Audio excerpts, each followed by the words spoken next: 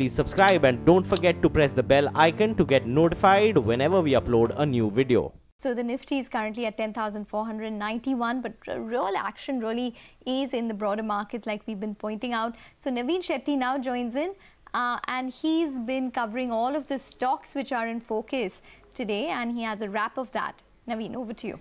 So, Ekta, I'll begin with Coromandel International. Remember, over the weekend, they had notified to the exchanges that they will be doing a intergroup transfer and will be acquiring the biopesticide and the micronutrient business of uh, EID Parry. So that has come in as a good news because remember, this is a strategic fit for the company who is venturing into the crop protection business, especially in the biomicronutrient space. So that comes in as a positive. The other stock which is up and running in today's trade is GAIL. Although it has given up from its highs, but still we understand from news reports that that IOC as well as BPCL are keen on acquiring GAIL to make an integrated entity. Uh, remember, CNBC TV18 hasn't verified these reports. On the other hand, GVK much breather comes for this company. Maybe after what, four to five years, now they will be getting coal linkage for their Goindwal Sahib Punjab plant, which is close to what, 520 megawatts. Remember, this plant has been stranded for the last four years since the two, uh, coal gate scam.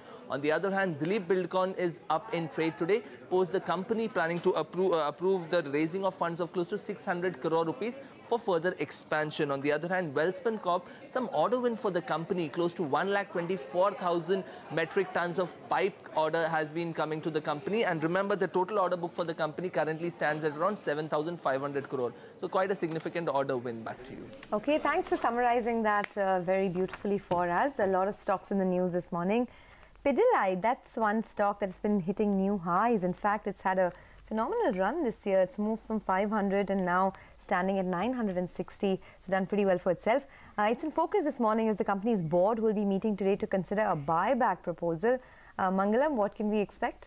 That's right, Sonia. So, you know, uh, the announcement came by on December 20th. Since then, the stock has moved around 7-8% as well. So, a lot of that is baked in the price. We need to know what happens now. The three key variables, of course, ahead of the board meeting will be one, the price at which they buy back. Second, the amount that they buy back for. And third, will the promoters participate or not? So, just a couple of things.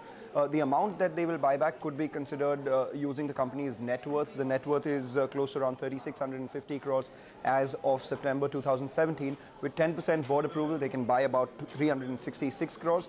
And with 25% shareholders approval, they can go ahead and buy 915 crore rupees. So remember, the market cap of the company is 50,000 crore rupees. So not too much in terms of additional sweetener coming in from the buyback. But the bigger point is that the promoters and the company believes that there is no bigger investment than their own company. So if the promoters who hold 70% stake in the company, they do, do, do, go ahead and uh, uh, tender in that buyback, the acceptance ratio for uh, all the investors goes down to 0.8% if they do a board buyback, a board approval buyback, or increases to just about 2% if they go ahead and take a shareholders buyback and the promoters do participate in that. If they don't, then there is a lot more left on the table for the others. 2.6% acceptance ratio at 10%, which is the board approval, and 6.6% if uh, uh, they go ahead and take the shareholders approval. Do they have enough cash and uh, uh, uh bank balance on their books? Of course they do. 1,500 crores worth uh, cash as well as current investments.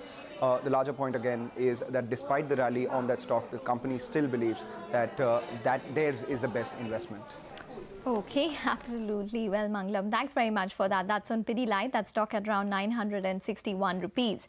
But it's been uh, very quiet for all pharmaceutical stocks in terms of news because of uh, the Christmas vacation for the month of December. But there are some important takeaways which have come in from the US FDA chief. In his latest tweet, he says that this year, FDA approved a record number of generic drugs. For the 11 months, which is from Jan to November, the US FDA has given 771 full and 168 tentative generic approvals. Plus, the December total is still to come. That compares to the second highest record in 2016, which was with a 12-month total of 630 full approvals. Not only that, in a reply to an article indicating cancer prices have risen, cancer drug prices have risen 1400% with no challengers since 2013, the US FDA chief tweets that the FT is taking new steps to stem pricing abuses. Branded companies can help too by contracting carefully when they choose to outlicense old generic drugs, building into these contract provisions that would help prevent abusive pricing. by the acquirers. In simple terms, what we can expect is that maybe 2018 will probably see more generic approvals come through beyond that 771 which uh, the US FDA has already done in 2017 and they're going to take all efforts. Uh, we are quite stable for the markets, nothing much to incrementally talk about at least for the index except for the fact that the mid-cap index is at the high point of the day. But uh, if you want to talk about specific stocks, what seems to stand out today is what's happening with stocks such as Just Dial. That stock is up around 4 odd percent as we speak. We have Fortis, which is doing quite well today. So Fortis Healthcare should come up for you. That too is up around 3.5 odd percent, or now even spiked up to around 6.5 odd percent. So just in the past couple of minutes is where we've seen that sort of incremental buying come in for Fortis Healthcare. Uh, a couple of other stocks which really stand out uh, right now also seems to be Reliance Communication. After all of that volatility that we've seen, it's currently settling at uh, Reliance Communication is the one that I'm talking about. Um, that one is settling at around 17 odd rupees at this point, so up around 4.3% currently for Relcom as well. Um, overall, it's looking quite stable and steady in terms of stocks. If you want to talk about a couple of stocks which seem to be declining within the broader markets, um, if you're talking about volumes, uh, Adani Transmission stands out. That stock is down. It's a little weak at this point. So do watch out for that. Religare again from the entire Singh Brothers uh, space, that stock is down around 3 odd percent. So that too stands out at this point in time. Overall, it's looking quite uh, stable and quite quiet for the markets as well. So let's shift focus and move away from 2017. And as we head into the new year, will the market give stellar returns as it has in this year? And what's in store in terms of cues? Nischal Maheshwari, Head Institutional Equities Edelweiss Securities joins in now. Nischal, hi. Thank you very much for taking the time out. So the Nifty Nifty's given returns of 28% um, at current reckoning and the mid-cap index is up over 45%. Do you think 2018 is going to be as, as kind to us? Morning and uh, season's greeting from my side to your whole team. Um, yes, uh, uh, last year has been pretty good, but uh, what we have to be uh, uh, take into consideration Uh, that the market has performed pretty well in the last year, and uh, we are not entering the market at the same kind of valuation what we entered in the uh, beginning of 2017. Uh, so I believe that uh, 12 to 15 percent kind of a return overall on the market is definitely on the cards, but the same kind of returns may not be possible. Okay. Nischal, hi, good morning. You know, you're, um, I think, the sixth or seventh person that has told us that in the last two days. The fact that there is, there should be caution in the system because of how heady valuations are. But generally, when people talk like that, the market doesn't relent, right?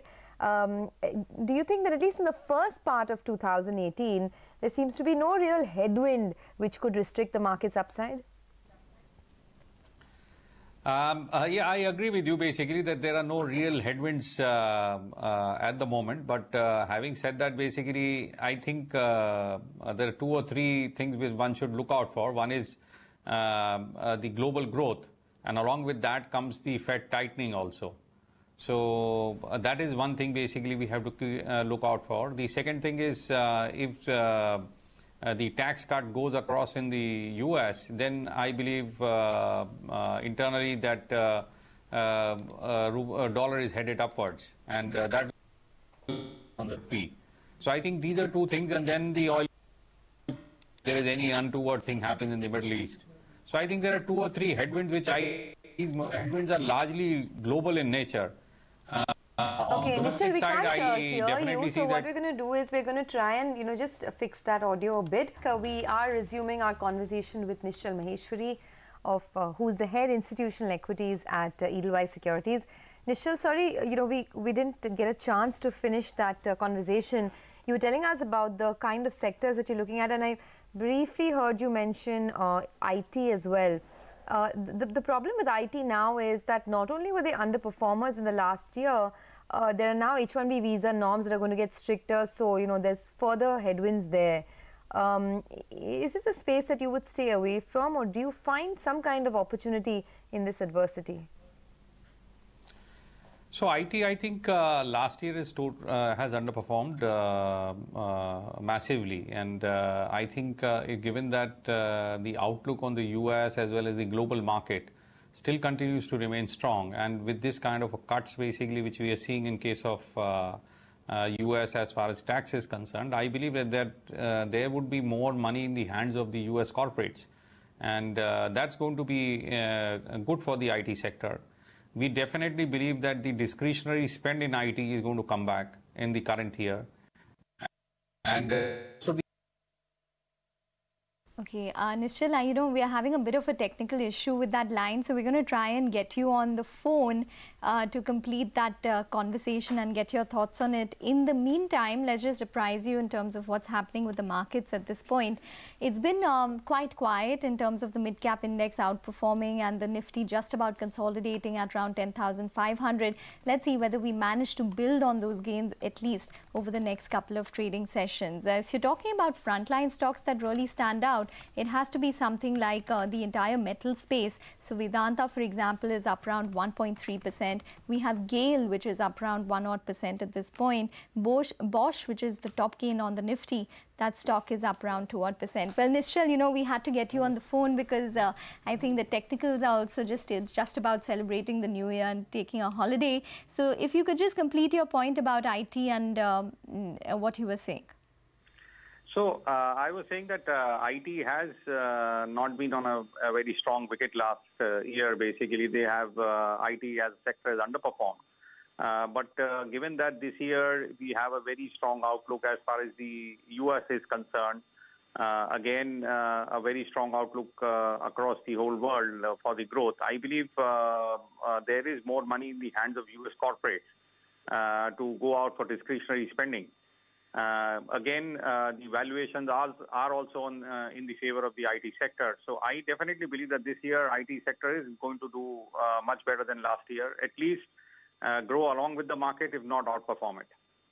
The other sector which obviously hasn't uh, performed, in fact underperformed, Nischal, has to be the pharmaceutical space. So do you think that 2018 could be the year where we could see positive news for a couple of companies and maybe valuations could just about uh, take over? So uh, uh, I agree with you there. Basically, I think some of these companies who have been waiting for a long period of time to get approvals from US FDA, you might see some of these uh, things coming through. But uh, my problem with the sector is basically that the nature of the sector has totally changed. So now, if you uh, if you look at it earlier, we used to have these kind of US FDA inspections every three to four years. Now this is happening every year and the norms are becoming stronger and stronger, uh, stricter and stricter for most of these companies. So uh, I believe uh, the valuations uh, should take a beating actually rather than uh, uh, holding on to these levels because the market is still not factoring in the kind of volatility these kind of events cause. And again, on the generic front in the US, we have not seen any leeway basically as far as the pricing is concerned. So I think pharma is uh, uh, is a sector one can uh, equivalent equivalent weight or underweight in its portfolio. Okay, underweight on pharma. Uh, just one final question from my end then, Nischal. You know, um, there could be a possible government dole out, a higher government dole out in this budget. There are talks of uh, stepping up in public spending, uh, you know, ish, sort of um, a lot of disbursements to, to sort out the farmer distress as well. Um, is this a space that you are uh, bullish in? Because we, have seen no money has been made in fertilizers, no money has been made in agrochemicals largely. Uh, tractors have now started to do well. Um, so is this just a story that plays out every budget and doesn't make investors money or is this agri theme something that you would look towards?